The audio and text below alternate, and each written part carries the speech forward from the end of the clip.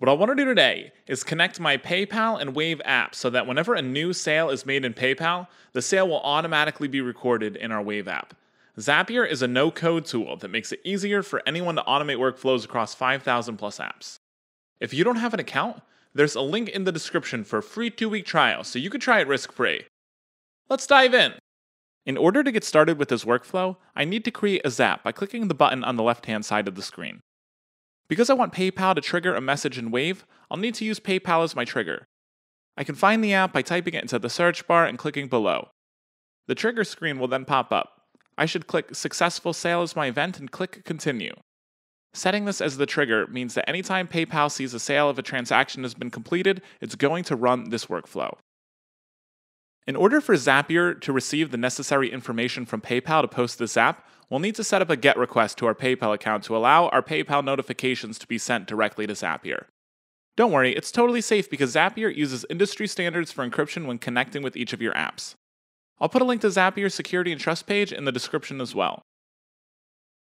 Click the copy button next to the webhook URL listed in the trigger screen and then click Visit your PayPal IPN settings under your webhook link in order to get the instant payment notification page. Once we're on the page, we should paste our webhook link into the notification URL page and then click Receive IPN Messages. Click Save and then go back to your Zap. In order to finish setting up the trigger, we'll need to pull in some example data. To do that, click Test Trigger. You're all set with the first step. Click Continue and we can start creating our action. Type in Wave into the search bar and select it on the drop down menu. Next, click Record Sale and click Continue.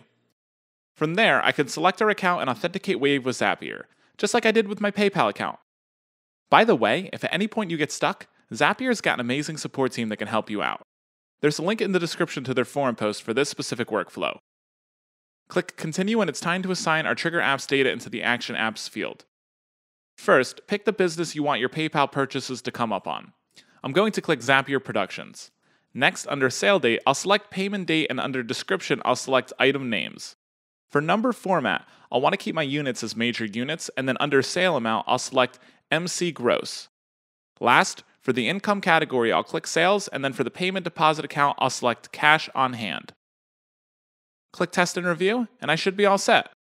Yep, there it is. This is ready to turn on. Now, anytime a new sale is made in our selected PayPal account, the sale will automatically be recorded into our Wave app. I hope this was a helpful demo. Zapier could do so much more with these two apps and thousands of others. Check Zapier out. There's a free trial. Click the link in the description.